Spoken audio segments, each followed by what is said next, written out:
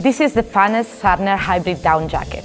It's designed for alpine life use and it's featuring a body mapping construction combining heritage and innovation. So in the main body, in the torso area, back and hood, we have a 9010 750 fill power RDS down insulation, whereas on the sleeve and on the side, we have the distinctive uh, knitting fabric uh, using recycled wool. The Sarner knit is a traditional wool making technique that is producing a fabric that is really dense and is protecting you against wind and cold.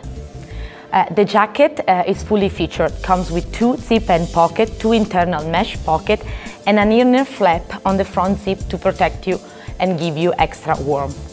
The Fanes Sarner Hybrid Down Jacket is a high-quality, sustainable product uh, that is made to be worn for as long as possible, combining the benefit of modern technology with traditional uh, wool heritage technique.